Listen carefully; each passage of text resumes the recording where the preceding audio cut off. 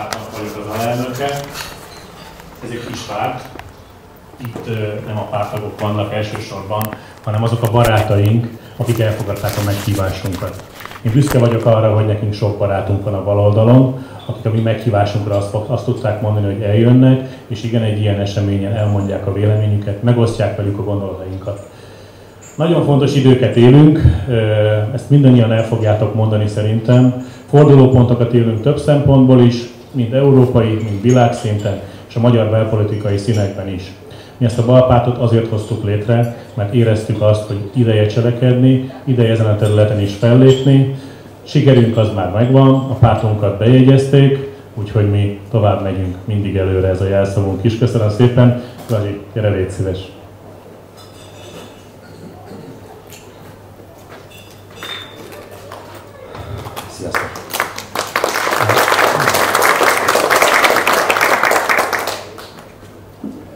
Föltéve, meg nem engedve, hogy még hinnék a pártban, mint politikai formában, akkor azt mondanám nektek.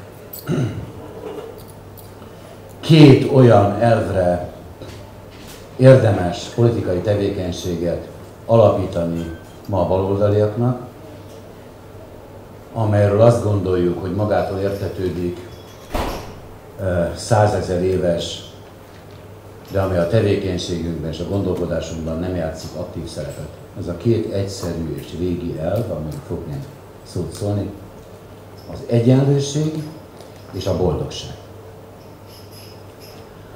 A,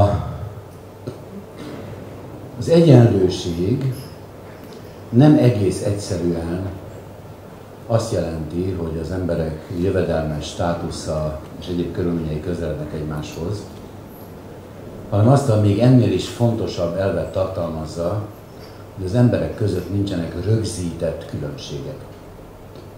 Senki nem tartozik valamilyen kaszthoz, senki nem tartozik egy olyan embercsoporthoz, amelynek vannak rögzített tulajdonságai, amelyeket erkölcsileg megállapíthatunk. Nem igaz az, hogy vannak lusta cigányok, nem igaz az, hogy vannak durva munkások, nem igaz az, hogy vannak uh, késóvár nők, nem igaz az, hogy vannak fölületes fiatalok, nem igaz az, hogy vannak szemülis öregek, nem igaz az, hogy vannak konzervatív parasztok, nem igaz az, hogy vannak pedofil papok. Ezek mind nem igazak.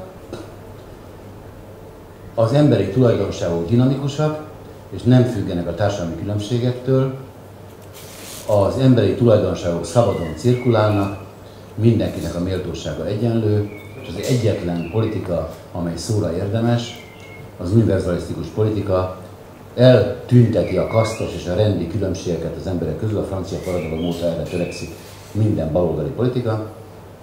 Ezért a mai baloldali politika továbbra is szemben áll az osztálykülönbségekkel, szemben áll az etnikai különbségekkel, szemben áll a regionális különbségekkel, szemben áll a kulturális különbségekkel, szemben áll az egészségi állapotra, a tehetségre, a fizikumra, az örökölt adottságokra, a kulturális előnyökre alapozott megkülönböztetésekkel,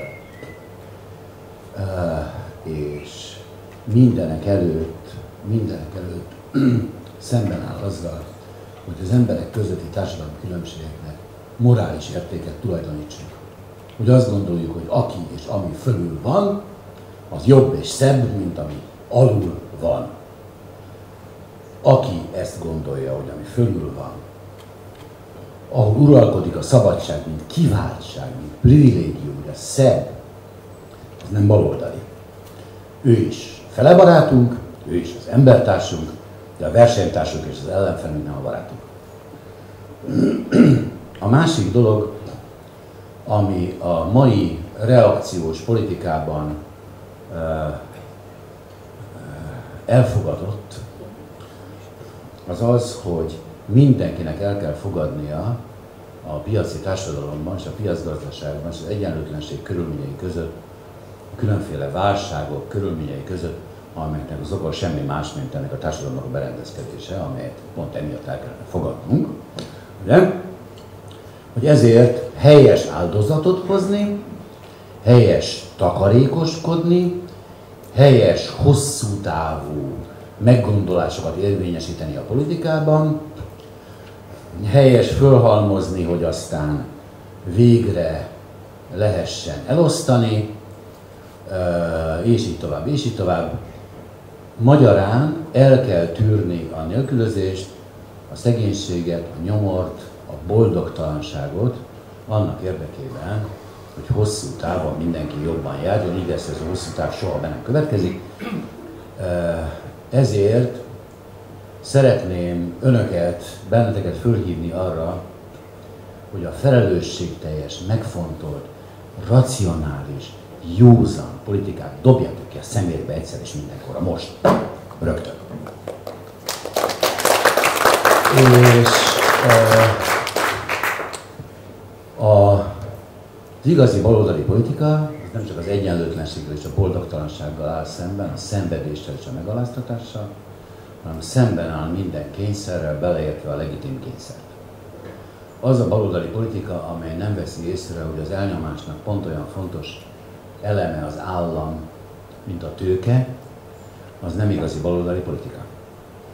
Az igazi baloldali politika 100, több mint 140 évvel a Párizsi Kommun után, azóta próbálkozunk ezekkel a dolgokkal, kedves eltársak, uh, úgyhogy ez nem egy új párt, ez egy régi párt. Ez egy 140 éves párt. Azóta, akkor kezdődött el a mozgalom. Hát most csak folytatjátok. Nincs itt semmi új. Azt mondta Orbán Viktor, hogy folytatjuk. Téved. Mi folytatjuk. És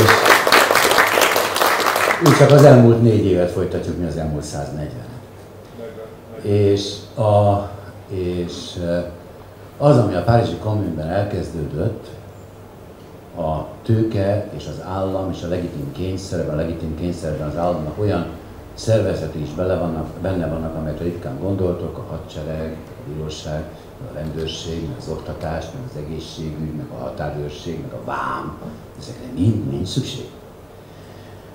Ezeknek az eltörlésére végképp megérett az idő, hiszen ezek nem egyebek mai formájukban, de talán semmilyen formájukban, mint az egyenlőtlenséget kiszolgáló ügynökségek.